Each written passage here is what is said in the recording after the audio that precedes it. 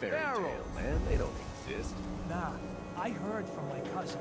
He knows a guy that works for him. Shop They got a in code safety. No and everything. sense allowed at the surplus. Follow the Freedom Trail. The hell is that supposed to mean? Ellie? Are you here? Nick? Oh god, it's really you. Well, it's hard to mistake this mug for anyone else. You keep laughing at death. Someday, death's gonna laugh back.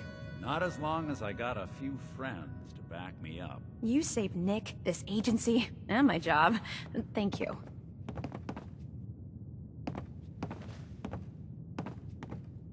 Happy to do it. Yeah?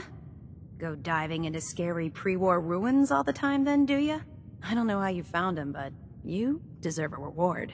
Here, from our rainy day fund. Plus a little something extra. You know, if you're looking for work and don't mind putting on the detective hat, Nick sure could use a new partner. Whoa. One case at a time, Ellie. Our new friend needs our help first. All right, let's get down to business. Take a seat. Make yourself comfortable.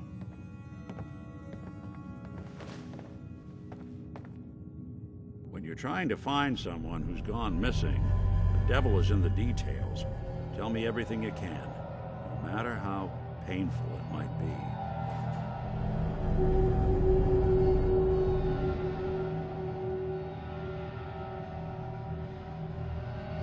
We were in a vault when it happened. Vault 111. It was some kind of cryo facility. You were on ice, huh? More importantly, you were underground, sealed up. It's a lot of obstacles to get through just to take one person. What else can you tell me? We're looking for my son, Sean. He's less than a year old. Why would anyone take him? Good question. Why your family in particular? Why an infant? Someone would be taking on all of his care, and a baby needs a lot of it. Anything else you remember? There was a man and a woman. They didn't say much. But I remember they called me the backup. So we're talking a small team. Professionals. The kind that know to keep their lips tight when they're on the job. Not sure what the backup means, though. Well, that confirms it. This isn't a random kidnapping. Whoever took your kid had an agenda. Hmm. There's a lot of groups in the Commonwealth that take people. Raiders, super mutants, the Gunners, and of course there's the Institute. So you think this institute is responsible? Well, they're the boogeymen of the Commonwealth. So easy to see why. Those early model synths of theirs strip whole towns for parts, killing everything in their way.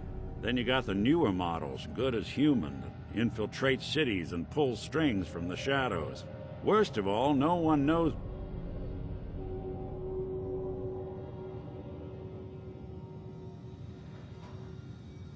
Either way, I need to find Sean. You're right.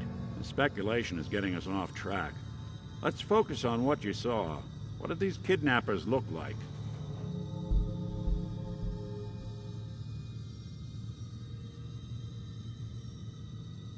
I'll never forget that voice. Low and rough. Like sandpaper across your face. Uh, not much to go on, but what else?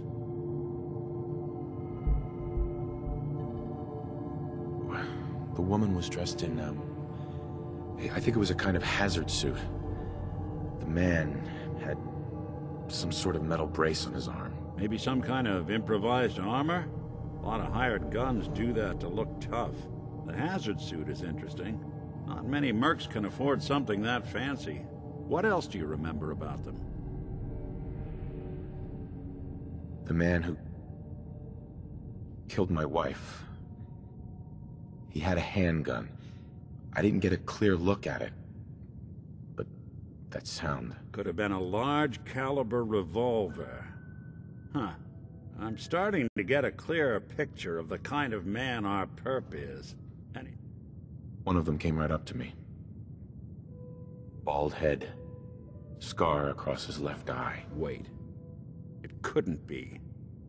You didn't hear the name Kellogg at all, did you?